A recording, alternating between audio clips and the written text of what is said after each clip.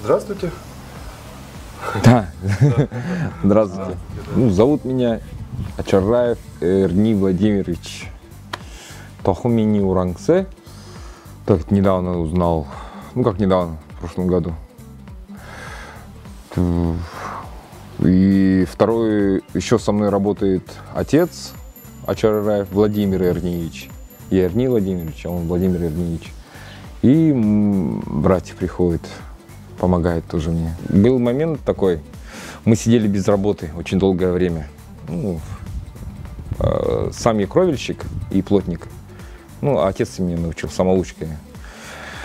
И мы долгое время работали на, по, по крышам.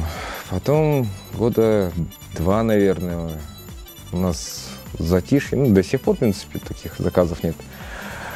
Вообще без работы сидели.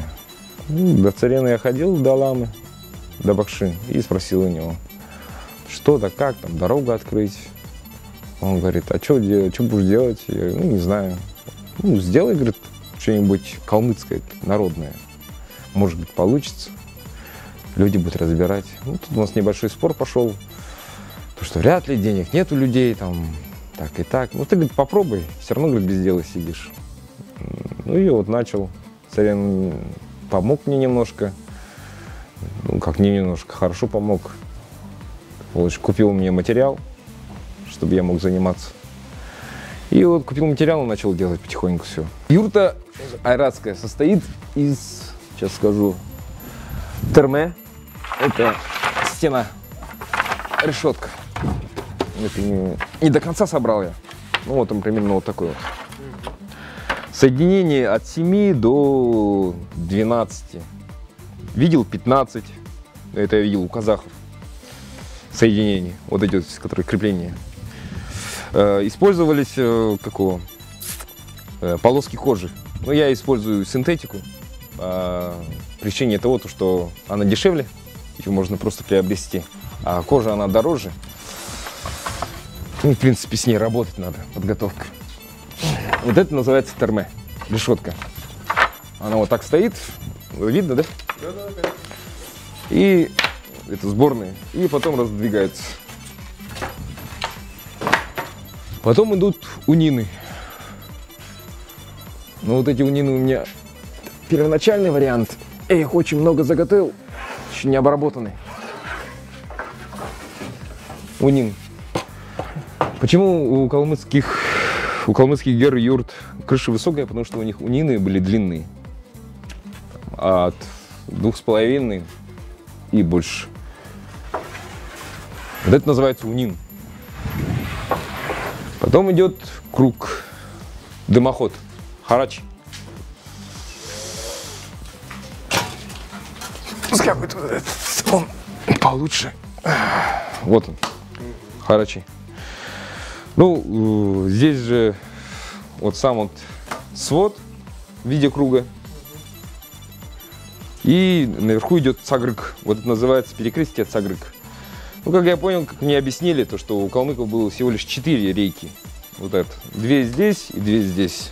Ну, это, это мое чисто. Добав... Добавка моя. Ну, дальше идут крепления, сами веревки или полоски кожи. Ну, и, и сама дверь. Виден. Вот они. Двери. Виден. Вот, в принципе, это основные части айратского гер. Сейчас на данный момент уже хорошо работаю шестиметровыми, то бишь уже набил руку на шестиметровых.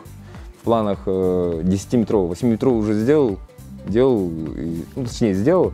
Теперь в планах у меня 10-метровый юрт. Вообще я хочу себе...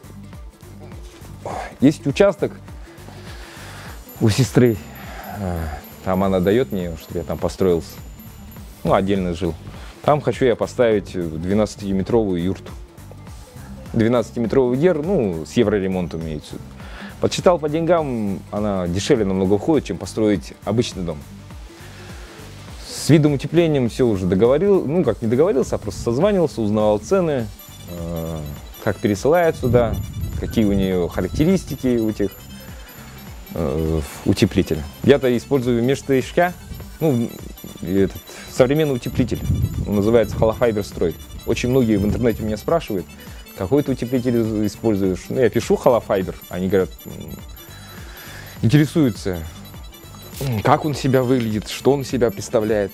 Так вот, говорю то, что он называется Холофайбер Строй. Он так и называется Холофайбер Строй. Войлок, да, очень дорого. Я перед тем, как начать, тоже обзванивал не только здесь, в Калмыкии. Ну, здесь в Калмыкии у нас толком не производит его. Кто-то производил, но уже не производит. В других странах, фу, не странах, а вот, регионах. да, регионах тоже спрашивал. Есть, но очень дорого. Чересчур дорого. Вот сейчас на данный момент, которые вот продают юрты монгольские, которые можно приобрести в Монголии, там, от 150, 6-метровая юрта выходит на 150 или 180, в зависимости от росписи, украшений, там, как она сделана. И вот считай, на эту сумму уберите 40 тысяч рублей, и все остальное это идет ишке, грубо говоря, вот так. Очень дорогой. В Монголии он дешевле, а здесь в России идет наценка на него получается, стоит, строить надо будет рублей 700-800, угу. а тут ты можешь поставить... Э, за 80, 5, да, да. Там за 80 тысяч, да? Да, да. И потихонечку построить родный дом. И, и, и у тебя еще ишка останется как э, символ твоего твоей принадлежности да. да? В принципе, можно еще в принципе, еще можно поставить, короче, у меня очень много планов разработал вообще по использованию ишка. Сделать небольшой домик э, 6 на 6 и к нему уже вот эти ишка приделать, как дополнительные комнаты, переходы сделать. Тоже очень дешево. Это один из вариантов, это я могу просто предложить жителям Калмыкии, это как один из вариантов, и он очень, очень дешево уходит. В зимнее время он, э, ну, я, когда, э, как раз я первую юрту ну, уже удавшийся имеется который уже не падало у меня, не косилось, ничего. Оно у меня получилось зимнее время. Не у меня, а у нас с отцом.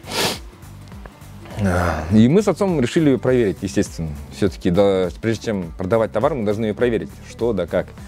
Ну, выставили зимой там на улице, расстелили все и поставили. Ну, ночевать я там не ночевал, честно. Ночевал я уже летом только. Видео вот как раз я выставлял э, ВКонтакте и Фейсбуке. Ну, вот там э, не ночевал, но мы проводили, как, как сказать, небольшие эксперименты. Замеряли температуру на улицу и замеряли температуру внутри. Без обогревателя внутри она, перепад температуры был где-то на 6-7 градусов. Э, звонил, э, как его, также через Facebook, знавал в других регионах. В Казахстане хорошо распространено, в Монголии хорошо распространено вот эти юрты, место жилищ. Они, в принципе, говорят, ну, не сильное отличие. У нас перепад температуры где-то 10-12 градусов. Ну, в принципе, говорят, у тебя нормально.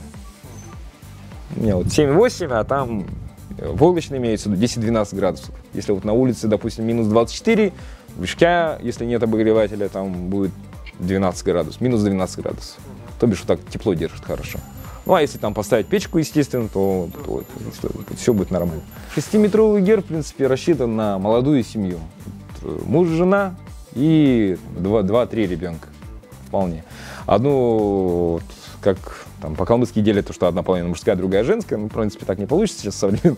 Имеется в виду одну половинку отдать детям, даже не одну половинку, а там четверть половинку выставить. Тоже я проекты делал, поэтому и четверть э, под спальню. Спальня детям, спальня молодоженам и остальное помещение это как, да, студия и кухня получается. Ну, войлок все равно, войлок он есть войлок. У нас бы кто-нибудь хорошенько производил войлок, правда не продавал по такой цене, как в России продают. Было бы вообще отлично.